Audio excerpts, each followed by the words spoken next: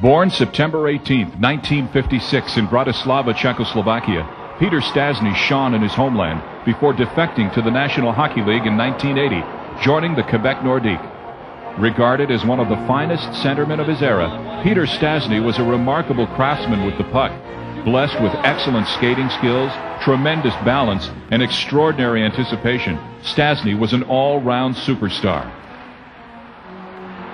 Success in North America was swift. Stastny was awarded the Calder Memorial Trophy as the NHL's Rookie of the Year.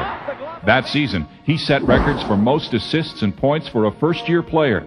70 assists, 39 goals, and 109 points. He topped 100 points in his first six NHL seasons. Named captain of the Nordique from 1985-86 to 1989-90, his point totals in the 1980s were only surpassed by Wayne Gretzky. He played in six All-Star games between 1981 and 1988, during a career that spanned 15 years with stops in both New Jersey and St. Louis.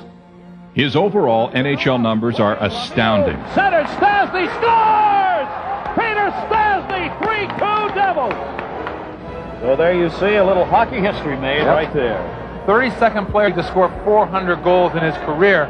In 15 NHL seasons, Peter Stastny recorded 450 goals and 789 assists for 1,239 points in 977 regular season hockey games. Upon retirement, Peter Stastny was the highest scoring European trained player in NHL history and the first 1,000 point man.